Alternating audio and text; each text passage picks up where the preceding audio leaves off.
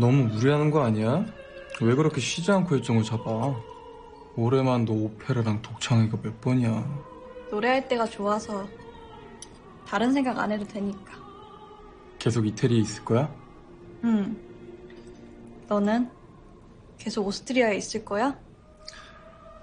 응. 아마도 연주회가 계속 잡혀 있어. 아, 선물이 있는데. 비엔나에서 너 생각나서 샀다. 예쁘다. 고마워. 이건 뭐야? 비엔나 우리 집 열쇠. 아무 때나 와도 돼. 뭐? 아, 너 겨울에 비엔나에서 공연이 있다면서. 그, 혹시 나 없더라도 집에서 기다려. 지난번처럼 만나지도 않고 그냥 가버리면 진짜, 진짜 화낸다. 응? 다신 그러지 마. 연주회 끝나자마자 미친놈처럼 달려가는데 너 벌써 비행기 탔대서 얼마나 진짜 얼마나 힘 빠졌는데.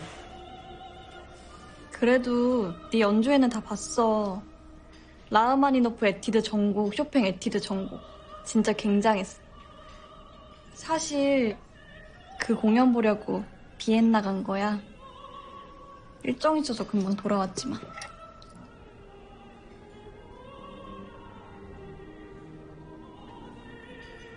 보고 싶었어. 로나야. 나도 보고 싶었어.